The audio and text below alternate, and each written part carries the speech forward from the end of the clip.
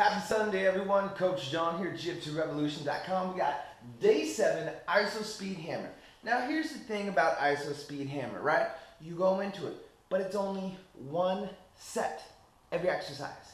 So hold nothing back. Like sometimes I had people tell me, like, man, I feel like I can do it again. If you feel like you can do it again, you didn't give it your all. Give it your all, push hard, go heavier than you think you can, grunt through it, and embrace the suck. Track it. See, here's my old ones I was editing. So make sure you know where you go from last time, right? Boom. Continuation, right on to the next set. Let's get it and hammer. There you go. Up. Very good, guys. Keep going. We'll here. Go. Remember, in about one more, you're gonna go as fast as you can. Okay, go. Now, go.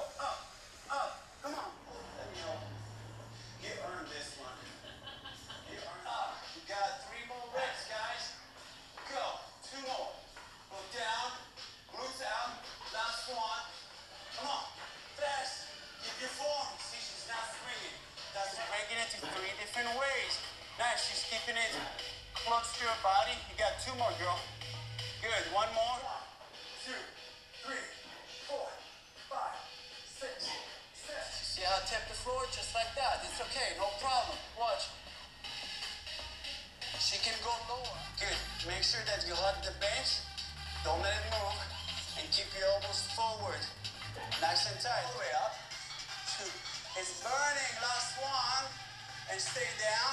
And give me 10. Six.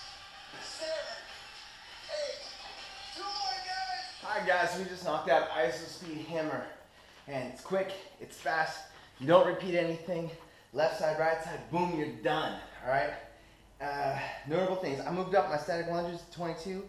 You do your first leg, you feel fine. Second leg, it burns on the leg you did the first time, which is your back leg now. So it's just hard to push through that.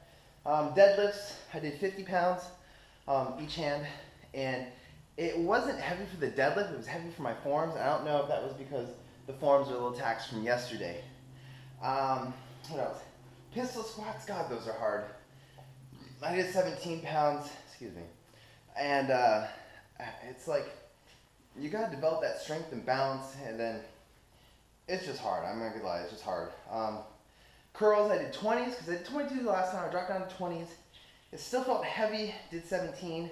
Calf raises, no weight, just using the bench. But really focus on that one, two, three stretch, come up and squeeze. You really gotta focus on the entire aspect of it all. And kickbacks, I did 17th. I'm gonna drop the 15th because I wasn't feeling the contraction, that mind muscle connection as good. So that's what I got for you guys. Nothing special, but that's week one of the Hammer Challenge. Remember to get your worksheets at gf2revolution.com. Link is provided for you guys in this uh, in the description. And yeah, tomorrow. I don't know what tomorrow is because I haven't planned that far ahead. But we got tomorrow going, guys, and uh, that's what I got for you. So uh, remember, it's about getting fit together. You're not alone. Later, y'all.